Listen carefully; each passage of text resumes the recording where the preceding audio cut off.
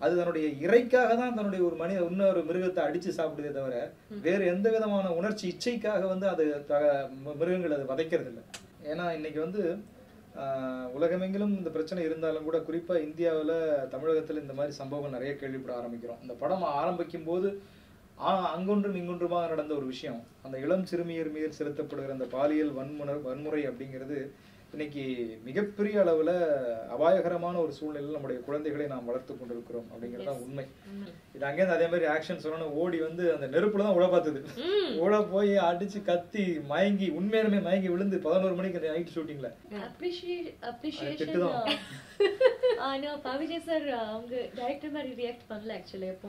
அதெல்லாம் அவங்க எல்லாம் சரியா பண்ணிடுவாங்க நாம தப்பு பண்ணுவோம். ஏன்னா நம்ம அவங்க எல்லாம் சரியா பண்றாங்களா தானே பார்த்துட்டு இருக்கோம். ஏன்னா அந்த படத்தை டைரக்டர் எஸ் சார் நடிக்கும் போது கூட அதான் சொன்னாரு. ஸோ ஹாய் எவ்ரி ஒன் நான் அஜய் அபின்யா இன்னைக்கு என் கூட வந்து ஒரு ஸ்பெஷலான கெஸ்ட் ரெண்டு பேர் இருக்காங்க. ஆருத்ரா டீம்ல இருந்து டீம் மேட்ஸ் தான் இருக்காங்க. ஸோ சார் சொல்லுங்க. பா விஜய் சார் இயக்கம் கூட இந்த படத்துக்கு இல்லையா? ஸோ இது உங்களோட ரெண்டாவது படம் இல்லையா? ஆஸ் இயக்குனர். அந்த படத்துலயும் க- கதை சொல்லியிருந்தீங்க. ஸ்ட்ராபெரிலையும் ஒரு கருத்து மாதிரி வச்சிருந்தீங்க. இப்போ ஆருத்ராலையும் நாங்க அது மாதிரி ஏதாவது எக்ஸ்பெக்ட் பண்ணலாமா? கண்டிப்பா. ஆருத்ரா ஸ்ட்ராபெரி மாதிரியே வந்து ஒரு உண்மை சம்பவத்தினுடைய அடிப்படையில உருவான ஒரு கதை தான் கதைங்கிறத விட நடந்த விஷயம் நடந்துட்டு இருக்கிற ஒரு ஒரு அவலம். ஸோ இதை வந்து ஒரு விமர்சிக்கிற அல்லது சுட்டி காட்டுகிற அதை பற்றி ஒரு கூடுதல் கவனம் செலுத்தப்பட வேண்டும் அப்படின்ற ஒரு அறிவுறுத்துகிற ஒரு படமாகத்தான் அந்த ஆருத்ரா திரைப்படம் உருவாயிருக்கு.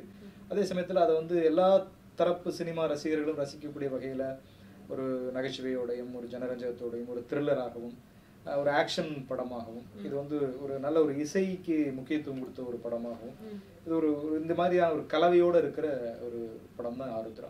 ஓகே. இப்போ நான் படத்தோட டீசர் பார்த்துட்டு இருந்தபோதே நிறைய விஷயங்கள் இருந்தது. காமெடியன்ஸும் இருக்காங்க. அதே சமயம் வந்துட்டு ஒரு பக்கம் பார்த்தீங்கன்னா பாக்யராஜ் சார் சீரியஸான ஃபேஸோட இருக்காரு.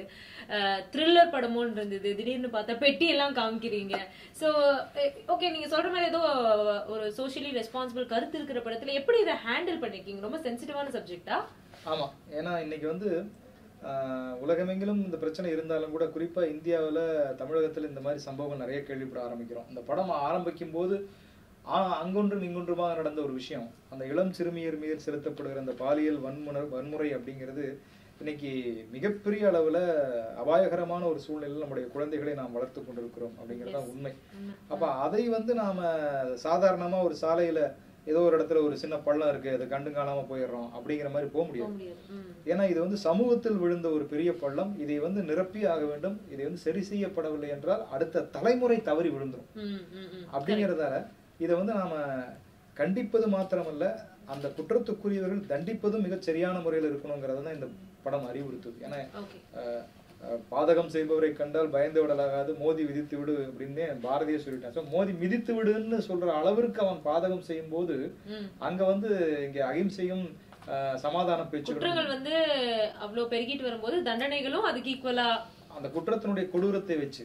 இப்போ இப்போ நான் இந்த படம் ஆரம்பிக்கும் போது அதான் நான் யோசிச்சேன். அந்த படத்தை ஒரு கருத்தாக வந்து சொல்லியிருப்பேன். ஒரு மிருகங்கள் கூட தங்களுடைய இனத்தின் மிருகங்களின் மீது செய்யாத ஒரு வன்முறையை. ஒரு மனிதன் தன்னுடைய இனத்தின் ஒரு சக சிறுமியர்கள் மீது வந்து செய்கிறான் அப்படிங்கும்போது இது மிருகம்னு கூட அந்த மனிதனை திட்ட முடியாது ஏன்னா. மிருகங்கள் அப்படி செய்யறது அது தன்னுடைய இறைக்காக தான் தன்னுடைய ஒரு மனித இன்னொரு மிருகத்தை அடிச்சு சாப்பிடுதே தவிர வேறு எந்த விதமான உணர்ச்சி இச்சைக்காக வந்து அது மிருகங்கள் அது வதைக்கிறது இல்லை ஆனா இந்த மனிதன் அதை விட கொடூரமாக கீழிறங்கி ஒரு கேவலத்தன்மையோட நடந்து கொள்கிறான். அதை வந்து சமூகத்துல ஒரு செய்தியாக படித்து விட்டு நான் மறந்து விடுறோம். ஒரு ஆசிஃபா சம்பவம் காஷ்மீர் நடக்குது. அதுக்கப்புறம் அந்த அலை இந்தியா நெடுகிலும் பரவுது. உலகமே அதை கவனிக்குது. அதை பற்றி பரவலாக எல்லா மீடியாக்களும் பேசுறாங்க. எல்லா மனிதர்களும் பேசுறாங்க. பிறகு மெல்ல மெல்ல தேய்மானம் அடைகிறது அந்த பிரச்சனை. அந்த பிரச்சனையின் வலி அந்த குடும்பத்தாரோட மட்டும்தான் அப்படின்னு போயிருது. மீண்டும் அது மீண்டும் ஒரு இடத்துல தலை தூக்குது. புதுச்சேரியில. பிறகு சென்னையில அயனாவரத்துல ஒரு மாற்றுத்திறனாளி பெண். இதெல்லாம் வெளியில தெரிஞ்ச விஷயம். இந்த படம் பண்ணி முடிக்கும் போது நாங்க எடுத்த ஒரு ஆய்வுல வெளியில் தெரிகிற சம்பவங்கள் பத்து சதவீதம் தான். தெரியாத சம்பவம் தொண்ணூறு சதவீதம் உள்ள ஒளிஞ்சிருக்கு. தங்களுடைய சுயமானத்துக்கு குடும்ப கௌரவத்திற்கு பயந்து பல பேர் அதை வெளியில சொல்றதில்ல. அப்படி சமூகத்துல வந்து வெளியிலிருந்து பயங்கரவாதிகள் வந்து செய்யறதில்ல. எல்லாமே நம்ம கண்ணுக்கு தெரிஞ்ச குற்றவாளிகள் தான். இருக்காங்க. இப்படி ஒரு சூழ்நிலையில நம்மளுடைய பெண் குழந்தைகள் நம்ம பெண் குழந்தைகளுக்கு மாத்திரம் இல்ல இது ஆண் குழந்தைகளுக்கும் நடக்கிற ஒரு அவலம். ஆக அவங்களை எப்படி நம்ம பாதுகாக்கிறது? அவங்க எப்படி தங்களை பாதுகாத்துக்கிறது? இன்னைக்கு இருக்கிற கமர்ஷியல் உலகத்துல பெற்றோர்கள் விலகி போக ஆக வேண்டிய ஒரு சூழ்நிலை இருக்கும்போது முழுக்க இருபத்தி நாலு மணி நேரம் கண்காணிப்புல இருக்க முடியாது. அப்போ அவங்களுக்கும் தனிப்பட்ட முறையில அந்த விழிப்புணர்வு தேவை. அதை தான் இந்த படம் உணர்த்துது. இந்த படத்தை பார்க்க வரும்போது இது பெற்றோர்கள் மாத்திரமல்ல குழந்தைகள் இந்த படத்தை பார்க்கணும். ஏன்னா சில விஷயங்களை குழந்தைங்களுக்கு பெற்றோர்கள் நேரடியாக சொல்லி சொல்லி தர முடியாது. அதை இந்த படம் செய்யும். சூப்பர். சோ நீங்க சொல்லுங்க. அவர் கதையை உங்ககிட்ட நரேட் பண்ற ஒரு தருணத்துல நீங்க ஃபீல் பண்ணிருப்பீங்க இல்லையா? கண்டிப்பா இந்த கதையில இந்த ப்ராஜெக்ட்ல நம்ம ஒரு பார்ட்டா இருக்கணும்னு உங்களுக்கு தோணி இருக்கும் இல்லையா? சோ அந்த தருணம் எது? சார் ப்ராப்பர் நரேட் பண்ணல ஆக்சுவலாக என்னுடைய போர்ஷன் மட்டும் தான் நரேட் பண்ணியிருக்காங்க மிச்சத்தை சஸ்பென்ஸ்ல வச்சிருக்காரு. ஆக்சுவலா இந்த படத்துல கதை இந்த கதையை எந்த நடிகர்கள்ட்டையும் முழுசா சொல்லல அவங்க அவங்களுக்கு அவங்க அவங்க கேரக்டர் வந்து அவங்களுக்கு சொல்லிட்டேன் it's a true incident story, child abusement based on, and uh, Adulta Bhaviji sir பண்ணிருக்காங்க இந்த படத்துக்கு. It's very aware there's all things happening in our India right now. So என்னோட கேரக்டர் பேர் வந்து பார்வதி ஒரு மலையாளி பொண்ணு சிம்பிளான it's very simple character very decent character most of the scene வந்து ஃப்ளாஷ்பேக்ல வரும் என்னோட போர்ஷன். அழகா சூஸ் பண்ணிருக்கீங்க டிம்பிளோட அது ஸ்மைலோட சரி இப்ப இந்த ஆருத்ரா பேர் காரணம்? இது பேர் வந்து ஒரு கோபம் தான் இந்த மாதிரியான குற்றங்களின் மீது வந்து நாம் இந்த படத்தில் கதாபாத்திரம் அவனுடைய மனதுக்குள்ள சுமந்துட்டு இருக்கிற கோபத்துக்கு ஒரு குறியீட்டு பெயர் வேணும். அப்படிங்கும்போது இது வந்து ஒரு ருத்ரமான ஒரு விஷயம். ஒரு ஆத்திரம் கலந்த ஒரு ஆவேசம். ஸோ இவைகளுடைய ஒரு தொகுப்பு தான் இந்த ஆருத்ரா. அதனால ஒரு ஒரு ஒரு கோபம் ஒரு இந்த மாதிரியான ஒரு சம்பவங்கள் நடந்தால் அங்க வந்து ஆருத்ரா வரும் அப்படின்னு சொல்லக்கூடிய அளவுக்கு இருக்கும். ஓகே. இப்ப இயக்கி நடிக்கும் போது நிறைய விஷயங்கள் வந்துட்டு நம்மளுக்கு என்ன சொல்றது கஷ்டமா இருக்கும். சில நேரங்கள்ல நம்மனால ரெண்டுலயும் அந்த அந்த ஒரு ஃபேஸ் இருக்கும் இல்லையா? This or that this or தட்னு சொல்லிட்டு. அதை எப்படி ஹேண்டில் பண்ணீங்க? அது ரொம்ப கடினமான ஒண்ணு தான் ஏன்னா டைரக்ஷன் பண்ணிட்டு நடிக்கிறது ரொம்ப ஒரு சிரமமான ஒரு வேலை. அதுவும் சக நடிகர்களோட நடிக்கும்போது நாம அதுக்கு முன்னால கேமராக்கு பின்னால இருந்து சொல்லி கொடுத்துருப்போம். போய் அங்க. அதெல்லாம் அவங்க எல்லாம் சரியா பண்ணிடுவாங்க நாம தப்பு பண்ணுவோம். ஏன்னா நம்ம அவங்க எல்லாம் சரியா பண்றாங்களா தானே பார்த்துட்டு இருக்கோம். ஏன்னா அந்த படத்தை டைரக்டர் எஸ்எஸ்சி சார் நடிக்கும் போது கூட அதான் சொன்னாரு. நீங்க எங்களையே கவனிச்சிட்டு இருக்கீங்க அதாவது நம்ம நடிக்கும் போது அவங்க இந்த வசனம் பேசுறாங்களா இவங்க பேசுறாங்களா தான் கவனிப்பை தவிர நம்ம கேரக்டருக்குள்ள இருக்க மாட்டோம். ஸோ இதை வந்து சமப்படுத்திக்கிறது எனக்கு பெரிய ஒரு சவாலாக இருந்துச்சு. அதுவும் எல்லாமே சீனியர்ஸ் ஒரு பக்கம் பாக்யராஜ் சார் ம். நான்கடல் Rajendran director SAC sir ah, Gnanasambanth sir படத்துல நடிச்சிருக்காரு ஜோமலி நடிச்சிருக்காரு ஒய்ஜி மகேந்திரன் மயில்சாமி அப்புறம் மேகாலி மாதிரி இந்த படத்துல இன்னும் ஒரு மூன்று கதாநாயகிகள். தக்ஷிதான்னு ஒரு பொண்ணு. அதுக்கப்புறம் சோனியா சரிஷ்டான்னு ஒரு பொண்ணு. சஞ்சனா சிங். அப்புறம் இந்த படத்துல முக்கிய முக்கியமான கதாபாத்திரம் வந்து நம்ம அப்பா படத்துல நடிச்சாங்க யுவான்னு ஒரு பாப்பா. அவங்க ரொம்ப முக்கியமான ஒரு கதாபாத்திரம் நடிச்சிருக்காங்க. அது ஆக்சுவலா திரைக்கு படம் வெளிவந்ததுக்கு பிறகு அதை நான் பேசுறதை விட மக்களே பேச ஆரம்பிச்சிருவாங்க. ஸோ அந்த மாதிரி ஒரு ஒரு ஒரு பெரிய கதாபாத்திரம் அந்த பொண்ணு இந்த படத்துல பண்ணிருக்காங்க ஸோ இவ்வளவு நடிகர்களோட ஆமா நடிகர் விக்னேஷ் இருக்காரு இல்லையா? அவர் இந்த படத்துல ஒரு ஒரு ஆன்டி ஹீரோவா நடிச்சிருக்காரு. அப்படின்னு நிறைய நடிகர்கள் உள்ள இருக்கிறதால இவங்களெல்லாம் சமாளிச்சு அவங்களோட சேர்ந்து நடிக்கணுங்கிறது. ஒரு பெரிய சவாலான ஒரு வேலையா தான் இருந்துச்சு. அதை எப்படி ஹேண்டில் பண்ணீங்க? திட்டமிடுறது தான். அது வந்து ஒரு தீவிரமான தெளிவா திட்டமிட்டுக்கிட்டோம்னா அதுக்கு முந்தைய உட்கார்ந்து என்னுடைய இணை இயக்குனர்களோட அல்லது உதவி இயக்குனர்களோட உட்கார்ந்து கேமராமேன் சஞ்சய் எடிட்டர் வந்து லோகேஷ் பண்ணியிருக்காரு. இசை வித்யாசாகர் சார் அமைச்சிருக்காரு. ஸோ இவங்க எல்லாரோடையுமே உட்காந்து பிளான் பண்ணி இது எப்படி ஷூட் பண்ணலாம் இந்த சீனை வந்து எப்படி எடுக்கலாம் யார் முதல்ல வசனம் பேசணும் அப்படிங்கிறது ஒரு ஒரு நாளுக்கு முன்னு முந்தைய தினமும் நாங்கள் உட்காந்து அந்த லொக்கேஷன்லேயே பிளான் பண்ணிடுவோம் ஸோ கேமராங்கிறது இங்கே இருக்கணும். இந்த சீன் இப்படி ஓப்பன் பண்ணலாம் இதை இங்கே என் பண்ணலாம் அப்படிங்கிற வரைக்கும் ஒரு கலந்துரையாடல் பண்ணிக்கிறதால அடுத்த நாள் ஷூட்டிங் ஸ்பாட்டுக்கு வரும்போது அந்த ஸ்பாட்ல வந்து நடக்கிற சில சிரமங்கள் குறையும். இதையும் தாண்டி புதுசா பிரச்சனை வரும். திடீர்னு மழை வந்துரும் திடீர்னு லைட் ஆஃப் ஆயிரும். ஏதாவது ஒரு ஜென்ரேட்டர் எரிஞ்சு போயிடும் இப்படி பல வேலைகள் நடந்து இதுல இண்டஸ்ட்ரி ஸ்ட்ரைக் வேற வந்துச்சு. இப்படி பல சவால்கள் வந்து சந்திக்காத நாளே கிடையாதுன்னு சொல்லலாம். எல்லாத்தையும் தாண்டி தாண்டி தான் படம் வந்து இன்னைக்கு ஆகஸ்ட் இருபத்தி நான்கு திரைக்கு வருகிறதுங்கிற இடத்துக்கு கொண்டு வந்திருக்கு. கொண்டு வந்திருக்கு. சோ இப்ப எதையுமே எழுத்து வடிவமா போடும்போது நம்ம நம்ம ஒண்ணு யோசிச்சு வச்சிருப்போம். இப்படிதான் வரணும் இந்த சீன்ல எப்படி இருக்கணும்னு சொல்லிட்டு. ஆனா இப்ப நம்ம அவுட்புட் பார்க்கும்போது நம்மளே சில இடத்துல காம்ப்ரமைஸ் எல்லாம் பண்ணிப்போம். இல்ல இது ஓகே சரி இப்படி பண்ணிக்கலாம் அப்படி. அந்த மாதிரி நீங்க ஏதாவது காம்ப்ரமைஸ் பண்ணீங்களா? பண்ணவே இல்ல. நான் இந்த படத்துல வந்து நிறைய பொருட்செலவு ஆச்சு. சில நேரங்கள்ல விரயச் செலவும் ஆச்சு. ஆனாலும் கதையில என்ன இருக்கோ அதை வந்து கண்டிப்பா எடுத்தே தீரணும் அப்படிங்கறதுல உறுதி. ஏன்னா இந்த படம் வந்து எனக்கு ஒரு பெரிய நடிகருங்கிற பேர் வாங்கி கொடுக்குதா அப்படிங்கறத நான் முக்கியமா கருதல. இந்த ஒரு டைரக்டரா இந்த படத்துல ஒரு இயக்குனரா இந்த படத்தை மிகச்சரியா செஞ்சிருக்கோம். ஏன்னா இந்த கதை வந்து அப்படி ஒரு கத்தி மேல நடக்கிற கதை. கொஞ்சம் மிஸ் ஆனாலும் தப்பாயிரும். இல்லைன்னா இது வந்து ஒரு நகைச்சுவையான படம். ஒரு காமெடிக்காக படத்தை எடுத்திருக்காங்க. ஒரு ஆக்ஷன் ஹீரோவா இவர் மாறுறதுக்காக இந்த படம் பண்ணியிருக்காங்க அப்படின்ற விமர்சிச்சிருவாங்க. அப்படியும் இல்லாம ஏன்னா இது ஹீரோவை உருவாக்குற கதை கிடையாது. அதுக்குன்னு வேற கதை பண்ணணும். இந்த படம் இந்த மாதிரியான சம்பவம் இனி நடக்கக்கூடாதுங்கிற எச்சரிக்கையை ம- மக்கள் மத்தியில. அவங்க ஆழ் மனதுக்குள்ள விதைக்கணும். படம் பார்த்தோம் அது தூக்கி போட்டு போயிட்டோம் அடுத்த நிமிஷம் வாட்ஸ்அப்ல செய்தி பார்த்துட்டு போற ஒரு படமா இது இருக்காது. அந்த பொறுப்புணர்வோட கண்டிப்பா இந்த படம் வந்து நூறு சதவீதம் ஒரு டைரக்டரா எனக்கு என்ன ஒரு ஆ, க- நம்பிக்கை இருக்குன்னா படம் பார்க்கிறவர்கள் குறிப்பா இரண்டாம் பாதி பார்த்து விட்டு வெளியே வரும்போது கண்டிப்பா ஒரு தாக்கம் ஒரு மனதுக்குள்ள வந்து அடடா இந்த மாதிரி சம்பவம் இனி நடந்துடக்கூடாதுப்பா. அதுக்கு நம்மளால ஏதாவது செய்ய முடியுதா? அப்படின்ற இடத்துக்கு அவங்க தொண்ணூறு சதவீதம் வருவாங்கன்னு நான் நம்புறேன். Super super. நீங்க அவரு உங்களை டைரக்ட் பண்ணும்போது ஏதாவது ஒரு சுச்சுவேஷன்ல உங்களை அப்ரிஷியேட் பண்ணிருக்காரா அப்ரிசியேஷன் வாங்கணுங்கிறது இருக்கும் இல்லையா டைரக்டர் கிட்ட இருந்து?